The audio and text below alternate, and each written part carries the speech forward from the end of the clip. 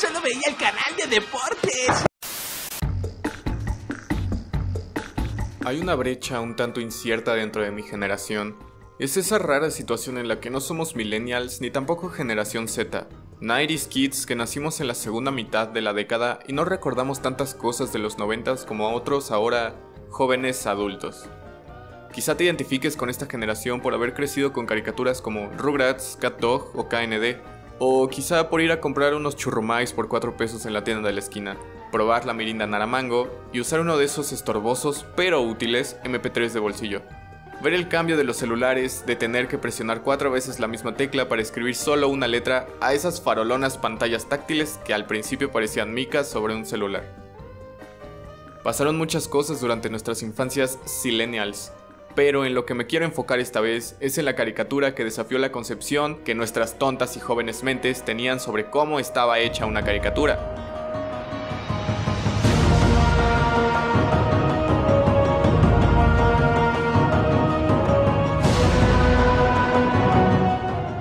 para evitar malentendidos, de una vez advierto que este video contiene spoilers de una serie animada que terminó literalmente hace 12 años. Cómo vuela el tiempo, ¿verdad? Bueno, pero ¿qué es exactamente Avatar? Específicamente la leyenda de Ang. Mm, algunos te van a decir que es una caricatura, otros te van a decir que es una serie animada, e incluso va a haber gente que te diga que es un anime.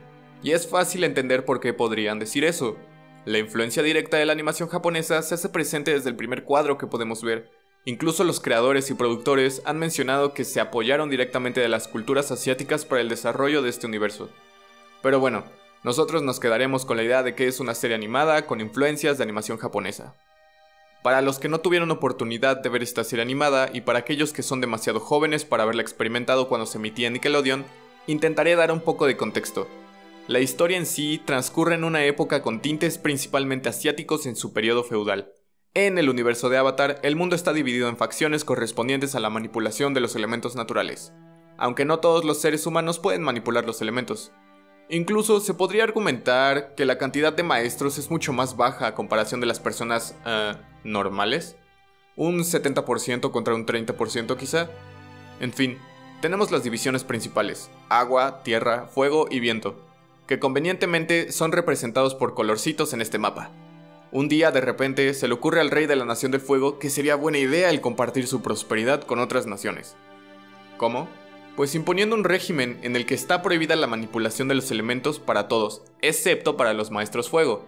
Por igual, el trato hacia las otras facciones es injusto y agresivo. La Nación del Fuego lleva peleando esta guerra durante 100 años, y es justo aquí donde comienza la leyenda de Ang. Seguimos la historia de dos hermanos, miembros de la tribu del Agua del Norte, los cuales encuentran a un nómada de los Templos del Aire, mismos que se creían extintos.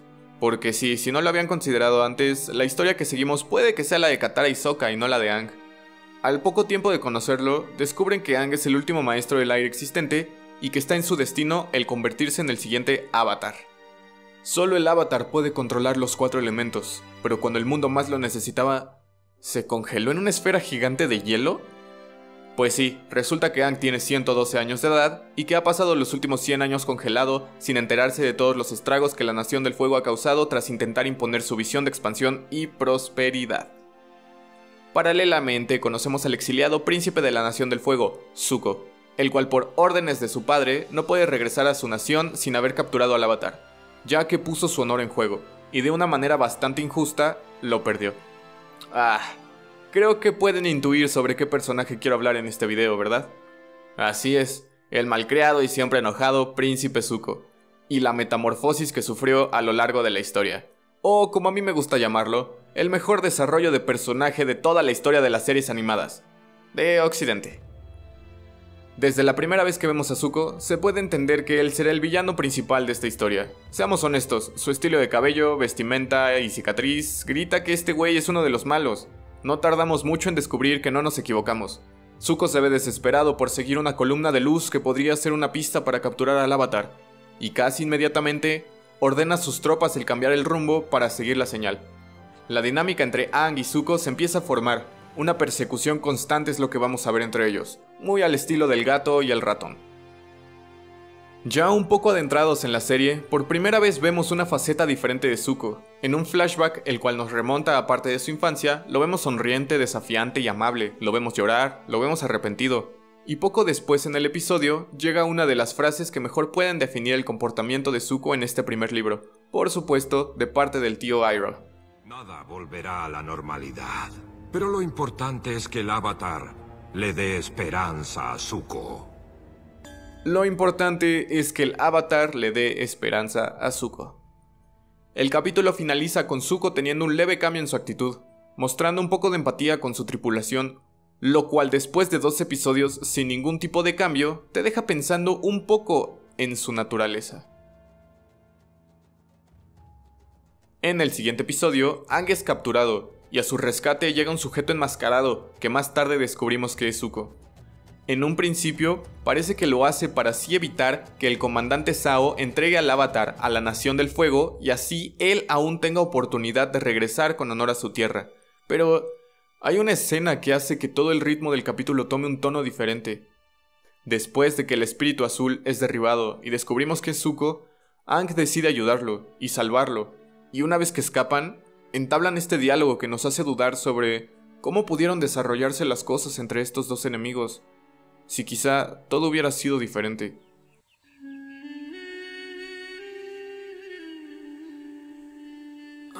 ¿Sabes cuál es la peor parte de haber nacido hace más de 100 años? Extraño a todos mis amigos que tuve. Antes de la guerra, solía visitar a mi amigo Kuson. Ambos nos metíamos y salíamos de tantos problemas. Es uno de los mejores amigos que he tenido y era de la Nación del Fuego, tal como tú. ¿Crees que si tú y yo nos hubiésemos conocido seríamos amigos?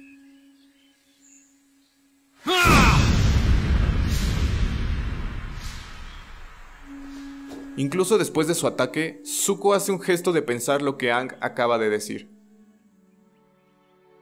Después de este capítulo, la dinámica se mantiene muy similar durante lo que queda del primer libro, el clásico gato y ratón. Brincamos hasta el primer capítulo del segundo libro, donde resaltan momentos como la presentación de Azula, hermana de Zuko, que más tarde formará parte importante del por qué Zuko es como es. También destaca este diálogo que me da risa cada que lo escucho. Mira qué conchas tan maravillosas. Y claro, después de la pronta traición de Azula, llega la escena en la que Zuko y Iroh deciden cortar su cabello, para así volverse fugitivos de la Nación del Fuego, es un momento muy muy serio, pero no puedo dejar de pensar en que Zuko se ve bastante chistoso así. En el capítulo siguiente vemos cómo ambos se van adaptando a la vida de fugitivos y encuentran ex refugiadas las cuales también fueron dañadas por la Nación del Fuego. Es la primera vez en la que Zuko tiene contacto con el otro lado de la moneda. Se le ve arrepentido y dudoso.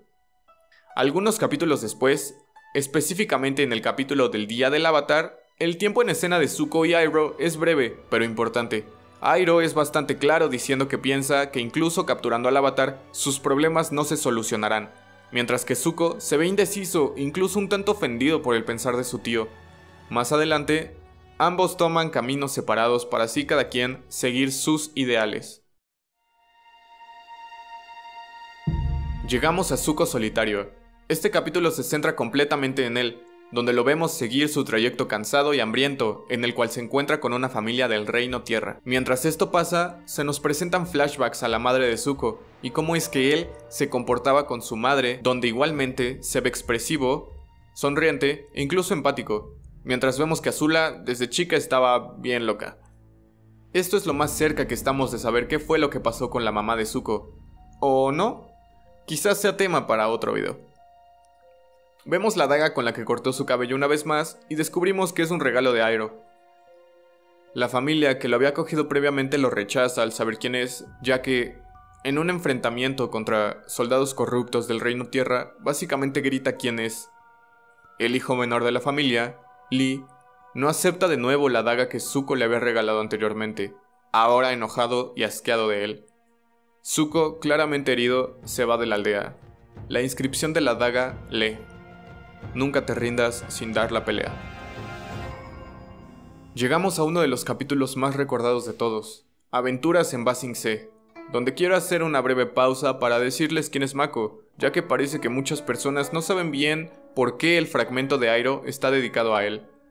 Esto es bastante simple. Mako Iwamatsu fue el actor de doblaje que dio su voz para interpretar a Airo durante varios episodios de Avatar. Él murió el 21 de julio de 2006 a la edad de 72 años. Es por eso que el staff de la serie decide hacerle homenaje a su trayectoria, despidiéndolo con uno de los fragmentos más emotivos de todo el show. De regreso con Zuko, su aventura se centra en su primera cita con Jin, una chica local. Esta cita es lo más tierno que he visto. La forma en la que está peinado para la cita, las pocas habilidades sociales que tiene y la forma en la que intenta agradarle a Jin. Por un momento, el príncipe Zuko se ve tonto y vulnerable ante una chica, se le ve asustado y al mismo tiempo agradecido por el contacto sentimental, lo cual nos dice muchísimo más de él de lo que se podría esperar de una historia de 5 minutos de duración. El capítulo del lago Laogai se centra en la búsqueda de Appa, y de nuevo, la dinámica del gato y el ratón entre Zuko y Yang se hace presente, pero esta vez en uno de los momentos cruciales, Zuko encuentra a Appa, y aunque al principio pareciera que lo va a usar para al fin capturar a Aang, Airo interviene, siendo la voz de la razón, y tienen este intercambio. Esto es exactamente lo que pasó cuando capturaste al avatar en el Polo Norte.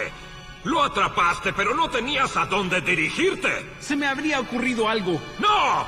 Si sus amigos no te hubieran encontrado, no habría sabido qué hacer. Conozco muy bien mi destino. ¿Es ese tu propio destino? ¿O es el destino que alguien más ha tratado de imponerte? Basta, tío. Es algo que tengo que hacer. Te lo ruego, príncipe Zuko. Es hora de que mires en tu interior y empieces a hacerte estas dos grandes preguntas. ¿Quién eres? ¿Y qué es lo que tú quieres?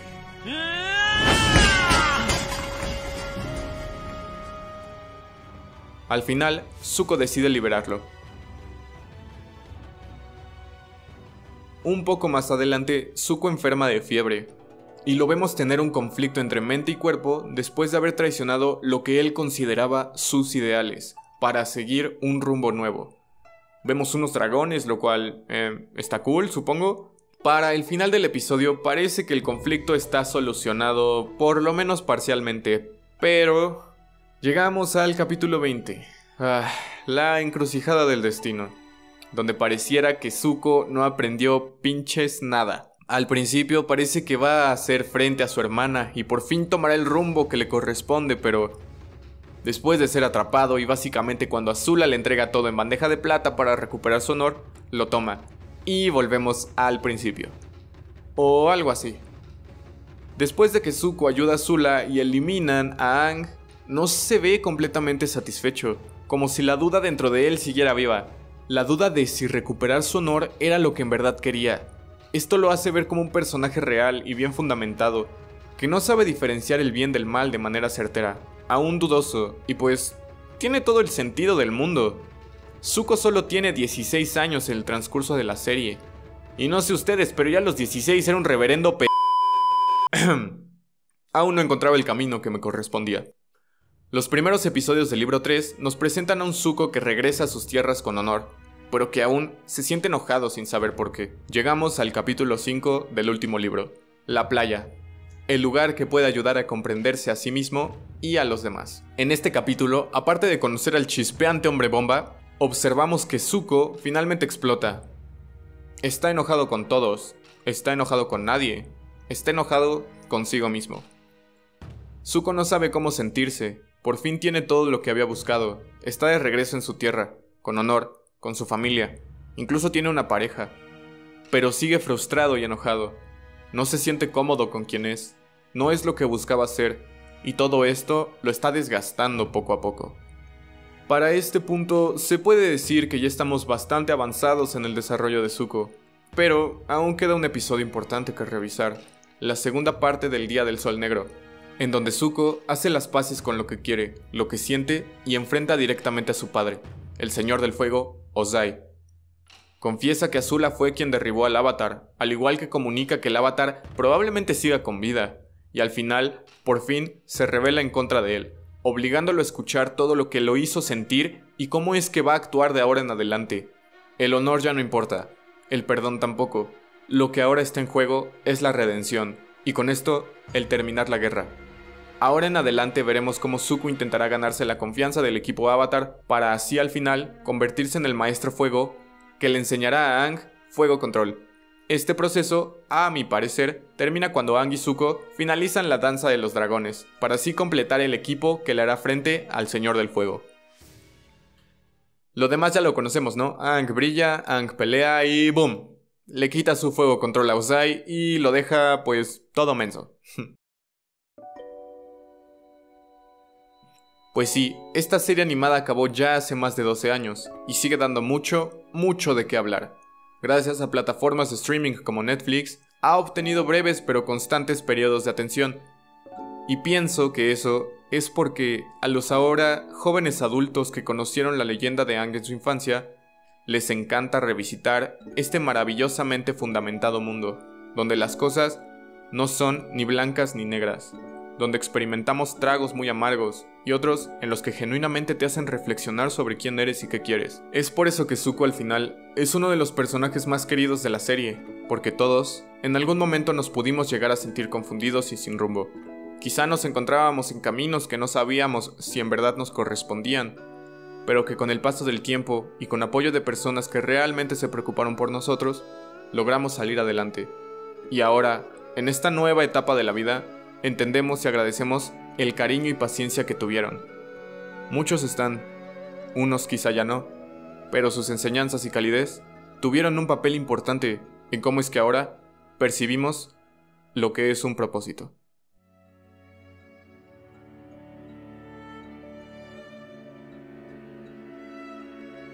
Amigos, muchísimas gracias por estar por acá y darle una checada a mi video. Si tienes algún tema o una idea que quieres que trate en un próximo video, hazme el favor de dejarlo en la caja de comentarios y seguramente lo revisaré. Yo soy Mike y si todo va bien, nos veremos pronto.